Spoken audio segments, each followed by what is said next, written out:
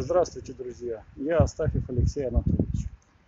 В связи с тем, что в процессе избирательной кампании на меня было возбуждено 4 административных дела, все они, э, по ним были заседания в Колыванском районном суде Новосибирской области, случайным образом я узнал о том, что суды в Российской Федерации нелегитимны. И там в интернете нашел шаблон, по которому решил составить сам заявление, отзыв акцепта.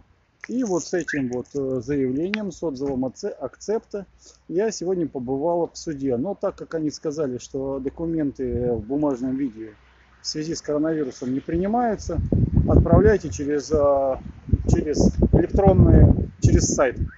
Поэтому я отправлю дома через сайт и всех вас приглашаю к э, обсуждению вот этого документа. Что же это за документ, который называется отзыв акцепта.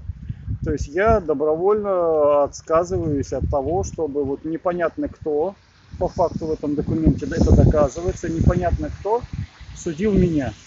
Почему непонятно кто, почему районный суд э, Колыванского района незаконен, или не имеет никакого, отсутствует у него правовой статус. И я вот задал эти вопросы все в суд. Они должны будут мне в течение 30 дней ответить. Если не ответят, то, соответственно, будет отзыв акцепта. Приглашаю на вебинар. Ссылка на вебинар под этим видео.